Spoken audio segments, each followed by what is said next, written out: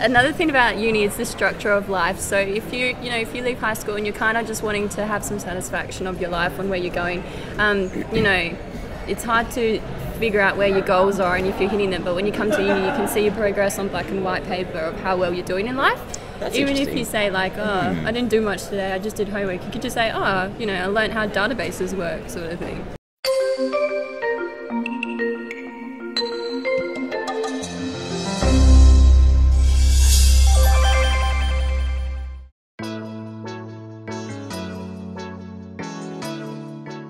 Just wasn't expecting such a good peer network coming into it. You know, compared to like a high school environment, when you come into here, it's you know everybody supports each other, sort of thing. Because it's self-directed learning. Yeah, At the end of the that's day, you're paying to study this, Yeah. um, and you've chosen to study this. So, yeah, if you want to do it, then you're going to show up to classes, you're going to show up to lectures, you're going to get excited about the assignments.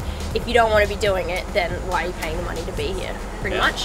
workload. Everyone's like uni's chill, you have much more time, but that's not true. Really? No, you got a lot of studies to get done. Yeah. Um, but apart from that, you have your own free time here and there. You don't have to go to classes like eight to five, eight to five every day. Kind of Yeah. thing. So that's pretty cool.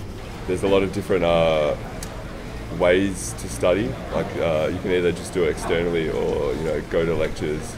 There's a lot of options for you to that suit your style of learning, I guess. as well like as the like semester goes on and the assignments start stacking on people tend to use the like online lectures and stuff a lot more like as it goes through So you learn as you progress through your degree. I know that's definitely that's what I've done.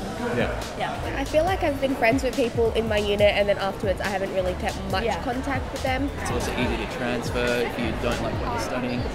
Awesome. Yeah. It's a level of freedom you just don't get in high school.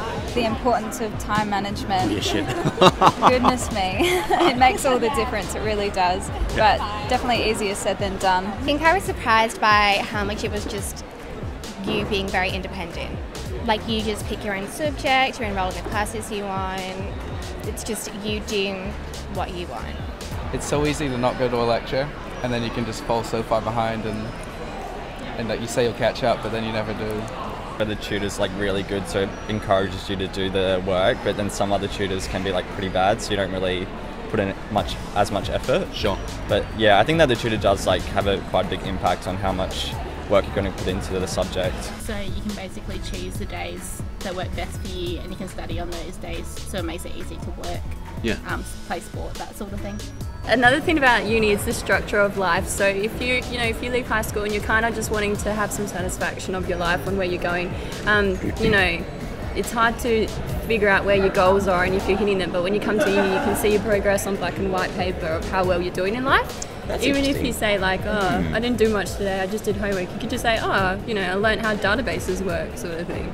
I find that compared to the rigorous and stressful environment of, say, high school, Yeah. it's a lot more relaxed. Um, it is a lot more self-motivated, which is um, which I quite like. Um, but I, I find that um, it's a completely different environment to what I thought. I was petrified that it was going to be like high school over again, and it wasn't. Yeah. you look at the unit outlines or um, the course guidebooks and they're like do this do this do this Yeah. but when you actually talk to a unit coordinator they're like oh no you don't have to do that one there's something else you can do or if you're like if you need help they're actually quite helpful they're, they're not as rigid as high school for example Teacher and student relationships, they spoon feed you a lot more. Like when it comes to assessments, they give you all the resources, they give you all the content that you need to go to write your essays or do your tests. But here at university, you have to have your own own initiative and independence to go out and find that resources.